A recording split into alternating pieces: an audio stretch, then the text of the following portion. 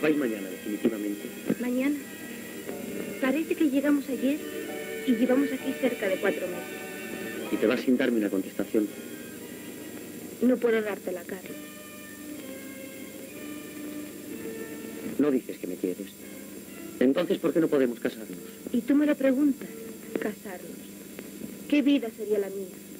Durante el tiempo que habéis estado en el campo operando, no ha habido para mí un momento tranquilo. Y quieres que esta agonía sea constante. Una agonía que solo puede tener un final, el de mi hermano. No, Carlos, no. Si me quieres, si es verdad que soy para ti lo primero, deja esto. ¿Esto? ¿El qué? Esto, África, la jarca, el riesgo constante.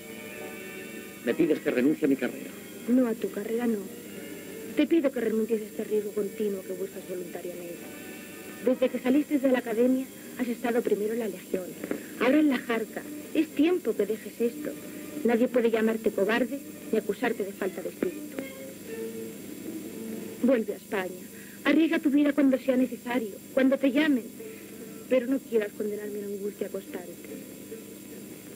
Irme. Dejar la jarca. Vegetar en una guarnición.